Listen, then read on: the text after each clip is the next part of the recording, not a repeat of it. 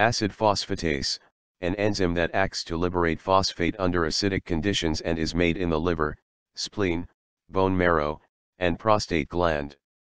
Abnormally high serum levels of acid phosphatase may indicate infection, injury, or cancer